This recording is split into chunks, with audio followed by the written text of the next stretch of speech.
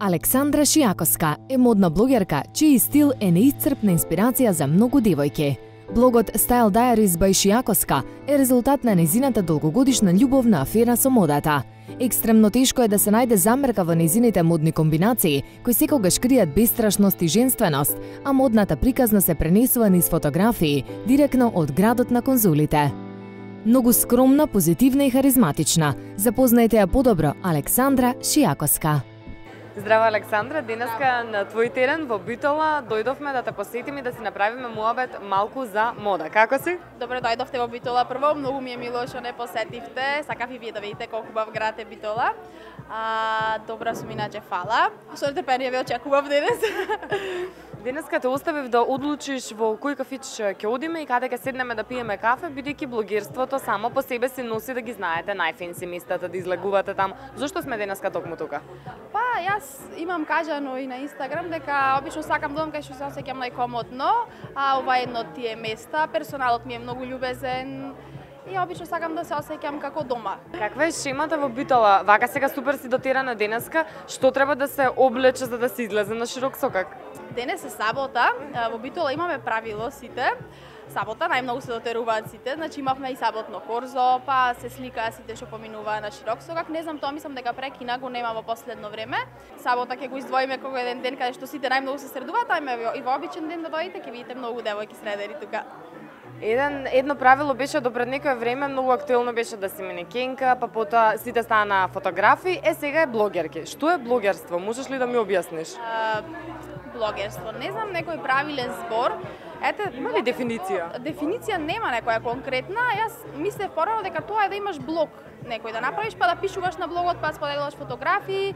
Не знам, најверојатно да го споделуваш а, дел од твојот живот, кој ти ќе одлучиш да се го представиш на јавноста, да споделуваш модни комбинации, па било да споделуваш, не знам, храна, зависи што што ќе сакаш фактички да блогираш на некој начин. Се исплатили да се биде блогерка? Дали веќе ти почна да заработуваш од постовите и од она што го постираш и она што го носиш? веќе почнувам да заработувам, пак ќе кажам, не доволно за да ги покрие трошоците на блогерството, затоа што нели за да те следат толпа луѓе треба да имаш прв се, да го да ги следиш модните трендови, да прикажеш на некој начин нешто поразлично и поубаво и за се тоа треба да вложиш. Заработката се уште е помала од тоа што го вложуваме, но сепак се движиме кон а, многу добар пат, барем јас така мислам, сега за сега. Колку следбеници имаш и како може да те најдеме на Инстаграм? А, моментално имам 10.600 следбеници. Александра Шијаковска сум запишена на Инстаграм.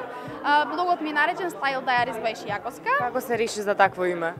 Искрено и за тоа не се заигава. Баш така, не знам, Style Diaries некако ми беше како како сакав да направам како модна книга модни комбинации секојдневно споделување на тоа што јас го носам. Како е да си популарна во Битола, бидејќи знам и сакам да ти честитам за наградата која што ја доби како една од најпопуларните битолчани. Кажи ми се за наградата и одговори ми на прашањето. Благодарам прво многу. А, убаво е чувството да си да си моден блогер во Битола, сите ме препознаваат по улици. Сега да сум пријатно и топло пречекана. Има многу поволности како и негативни страни нормално. Те прашуваат за совети што да облечам, дали ова ми оди кога ќе те видат некаде? Да, да, да, често, често и пораки ми го преплавуваат од Инстаграмот, што ми е премило. Во секој, значи во било кој период од денот да ме прашаат за совет, на секој ќе му одговорам. Кои се топ три локации на кои што сакаш да се фотографираш и, на пример, кои фотографии тебе ти се омилени? Јас видов имаше едни преубави со коњи, мене тие многу ми се допаѓаат многу сакам коњи, многу сакам животни. Дури имам кажано во еден од моите блог постови дека ако некојаш бидам успешна, прво што што ќе го направам ќе биде ранч со коњи и тоа ќе ми биде како место за опуштање. А, топ локации не можам да одберам некои три конкретно, туку ќе го речам целиот широк сокак. Значи од почеток до крај има каде се сликате на широк сокак. Значи било да е тоа некои скриени улички со стари градби, кујки. И за сам крај, што е она што ќе се носи во сезоната која што доаѓа? А, што е тоа што ќе се носи сега вака наеднаш? Сега ги одделив неколку работи баш на мојот Инстаграм. Тоа беа венчињата за а, кралските, нели кралскиот стил. А, сакоата, многу ќе се носат блейзерите.